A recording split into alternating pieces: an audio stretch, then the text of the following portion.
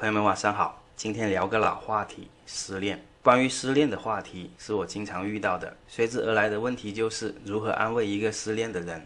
通常情况下，我们的回答是去吃火锅还是烧烤？为什么不选麻辣烫？因为容易造成误会。不知道什么时候起，麻辣烫在年轻人的意识里就变成了一种不正经的食物，请女孩子吃麻辣烫也变成了一件很邪恶的事情。要不然就是觉得麻辣烫的档次太低，好不容易失个恋，不能就这样打发了。作为一款高端的、打从骨子里就很严肃的美食，麻辣烫表示真他妈委屈。因此，火锅和烧烤就成了年轻人缅怀一段刚刚逝去的爱情最佳的选择。实际上，火锅和烧烤并不是重点，重点是这过程中必然要出现的啤酒。为什么不选白酒？因为失恋的人一般有捞不完的刀以及诉不尽的钟情。你要是让他喝白酒，三两下把他干醉了，他想说的话还没说完，明天你还得来，烦不烦啊？所以，安慰一个失恋的人的第一步就是先找个地方喝两杯。第二步是精神开导。有些笨蛋看到朋友伤心难过，就一个劲的怼那个没良心的狗货，各种骚浪贱，各种色装渣，把自己能想到的所有羞辱、污蔑、诋毁一个人的言语全都说了个遍。这样有没有用？有用，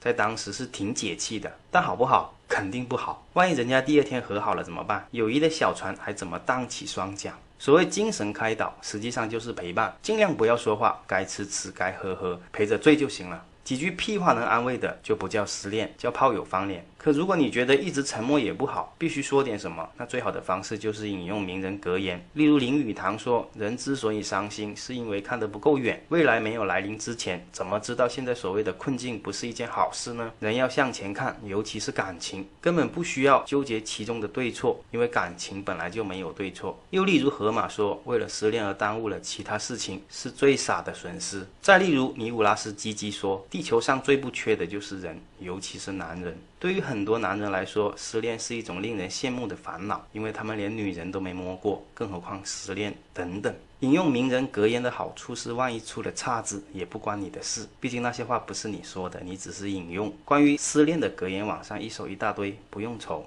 第三步是买单，吃完东西喝完酒，你就尽管装醉，让他体验一下既要买单又要把你弄回家的痛苦。这时他就明白，人世间令人郁闷的事情，并不只有失恋，还有遇到一个不靠谱的狗友。这三个步骤走完以后，过段时间他就好了。当然，他能好跟有没有这三个步骤无关，全靠过段时间。前面说的安慰三部曲，实际上就是防止他在最激烈的时候做傻事，其他作用不大。失恋导致的病痛是无药可救的，必须靠时间。当然，有有些真挚的爱情连时间都搞不定，终身不治。不管事情过去多久，只要接触到特定的事物，伤痛就要复发。例如狗友良，直到现在都不敢使用肛门零点零三，因为睹物思人，想起前任鲜嫩的奶子和 Q 弹的屁股，他就不禁黯然忧伤，严重的时候还要失声痛哭。所以，安慰一个失恋的人，最好的方式就是陪伴，等他治愈。好，今天就到这里，朋友们晚安。